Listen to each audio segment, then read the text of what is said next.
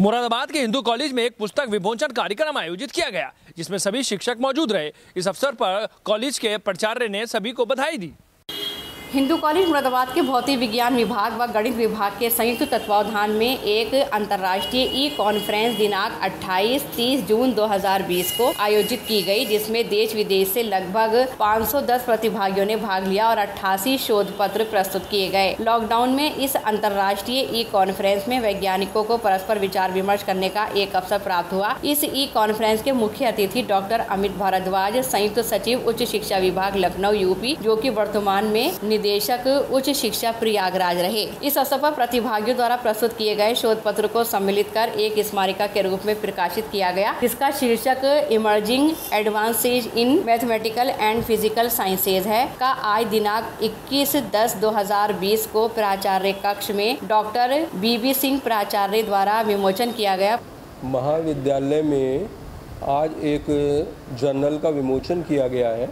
28 और 29 जून को गणित विभाग और भौतिक विज्ञान विभाग के संयुक्त तत्वाधान में एक अंतर्राष्ट्रीय ई कॉन्फ्रेंस हुई थी, जिसमें करीब 500 के आसपास जो प्रतिभागी थे, उन्होंने भाग लिया था और अपना शोध पत्र भी प्रस्तुत किया था।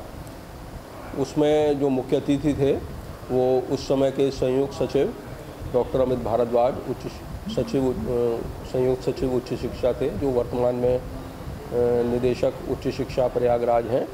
वो उसमें मुख्य अतिथि थे और सभी काफ़ी देशों से इसमें प्रतिभाग लोगों ने किया और दो दिन ये कॉन्फ्रेंस रही और इसमें काफ़ी अच्छी चर्चा हुई और लॉकडाउन में लोगों को पढ़ने लिखने के प्रति एक प्रेरणा मिली। बाद में जो लोगों ने शोध पत्र भेजे, उनको संकलित किया गया और डॉक्टर अनिल कुमार और डॉक्टर राकेश कुमार के निर्देशन में यह कार्य हुआ। उसी पुस्तक का विमोचन आज कॉलेज में किया गया। पुस्तक में विशेष बात क्या रहेगी जिससे विद्यार्थियों को फ़ायदा इस पुस्तक में विशेष बात ये रहेगी कि विषय से संबंधित जो कुछ गूढ़ बातें हैं, वो सरल तरीके से छात्रों की समझ में आ सकें।